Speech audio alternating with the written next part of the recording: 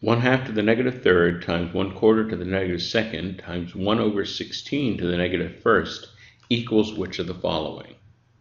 Well, the first thing we need to realize is that all three of these bases we can write in terms of the same power. We can all write them all as powers of 1 half. And this is because 2 squared equals 4. So that means that 1 half squared equals 1 quarter. Similarly, 2 to the fourth equals 16. So 1 half to the fourth equals 1 over 16. So first thing I'm going to do is merely plug those in. We get 1 half to the third, and then 1 half squared to the negative 2 times 1 half to the fourth to the negative 1.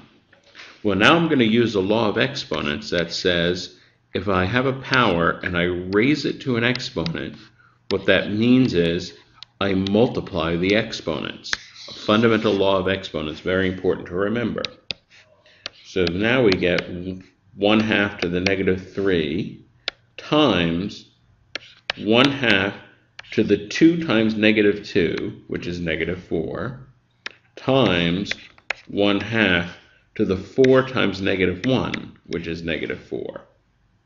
Well, now we're going to use another law of exponents that says if we're multiplying things that have the same base, we can merely add the exponents.